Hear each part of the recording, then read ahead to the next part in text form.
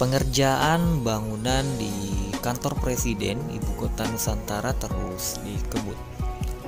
Kemudian di beberapa titik bangunan juga hal yang sama juga terus dikebut karena melihat dari segi durasi waktu yang kini sudah semakin mepet.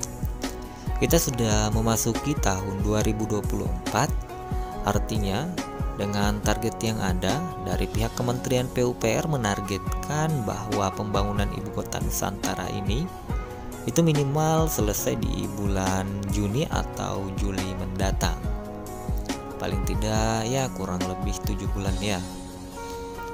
Nah kalau kita di lapangan itu melihat pengerjaan infrastruktur di IKN ini tentu terus dikebut ya. Itu dikerjakan siang dan malam para pekerja itu bekerja menggunakan shift jadi mereka bergantian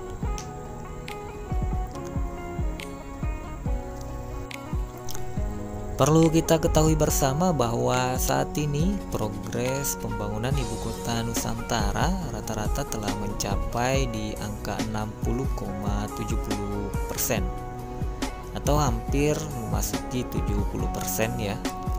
Sementara untuk bangunan kantor presiden sendiri itu sudah di angka 50% lebih. Jadi cukup signifikan semua ya pembangunan di ibu kota Nusantara ini. Infonya itu untuk pembangunan kantor presiden dan istana presiden itu dilaporkan telah melampaui target yang telah ditentukan sebelumnya perkembangannya itu bisa dikatakan cukup pesat ya dan cepat. Apalagi pada saat ini sudah terus dilakukan pengerjaan-pengerjaan bagian panel dalam pada kantor presiden ini.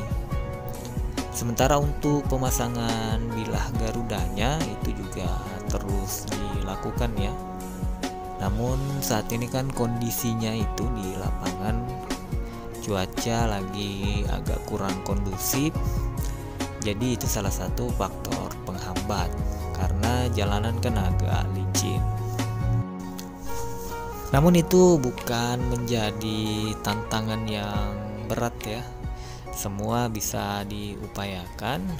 Yang nyata kalau kita lihat pada struktur belakang kantor presiden ini sudah hampir diselimuti bilah Garuda yang terbuat dari kuningan. Ini cukup unik ya. Kalau awalnya kita lihat bilah Garuda ini berwarna kuning di workshop Panyoman di Bandung, Jawa Barat. Namun ketika didistribusikan sampai ke workshop kedua Panyoman di Sepaku, itu sudah berubah ya menjadi hitam seperti itu. Infonya itu karena pengaruh oksidasi ya, jadi berubah warna kabarnya nanti. Lambat laun juga warna bilah Garuda ini itu juga akan berubah menjadi warna kehijauan.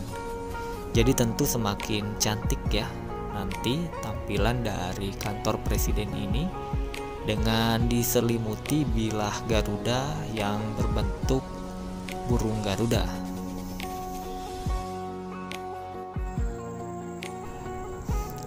Nah, jadi terus pantau ya perkembangan dari ibu kota Nusantara ini khususnya untuk pembangunan kantor presiden dan beberapa proyek infrastruktur lainnya.